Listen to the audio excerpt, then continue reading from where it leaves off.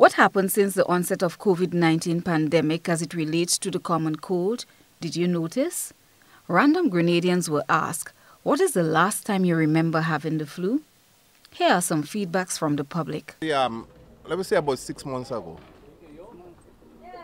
Yeah, that was the last time I had the cold. Whenever you have um large gathering like Carnival or Christmas, they used to have this cold going around and a lot of people catch that cold including me.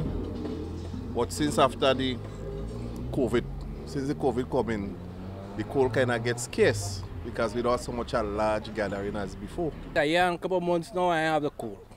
It's used my little vitamin C and I suck a lot of oranges. And well, I am a fisherman, so I in the sea regular, so all of that part of it.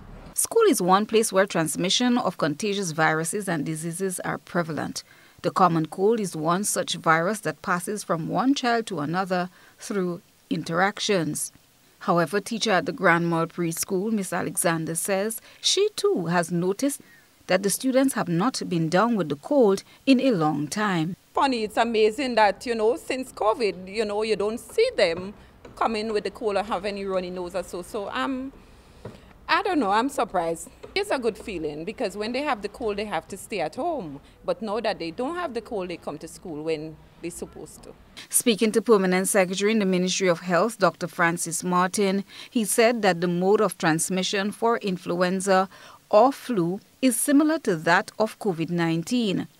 They have seen a drastic reduction. From our epidemiological surveillance for the last few months, uh, um, during the typical cold season or the virus season, we saw a significant drop in the diagnosis of upper respiratory tract infection, fevers of unknown origin, um, even to a certain extent, gastroenteritis. One may consider it a positive side to COVID 19. Here's how Dr. Martin rationalizes his findings. And I think the reason for that is because um, the wearing of masks is quite significant. It prevents droplets from getting aerosolized and getting droplets to um, infect other people. The washing of hands um, decreases the transmission rate from bacteria and viruses. And also the kind of limitation, limited movements, limited uh, or physical distances, as we said, even before COVID, we were saying to people, if you have a flu or a cold, stay at home, don't go anywhere. But COVID has actually forced us to do it. And I think that is the benefit and the knock on effect that we have seen as a result of COVID. He thanked the populace for entrusting them with their efforts in keeping the country safe. Christelina John, GBN News.